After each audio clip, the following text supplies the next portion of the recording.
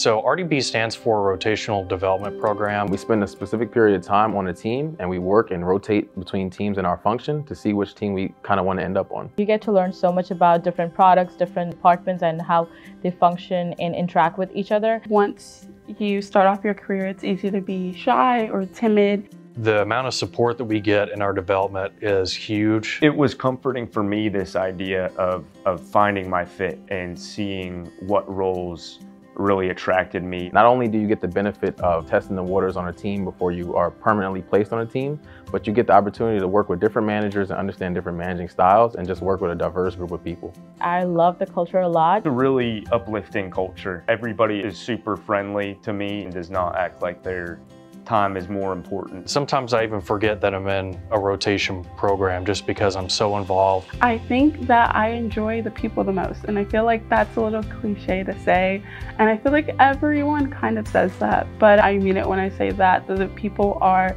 great people to work with. They are very inviting. When they say ask them anything, they mean it. They're willing to help you grow and learn, and they want you to succeed in life.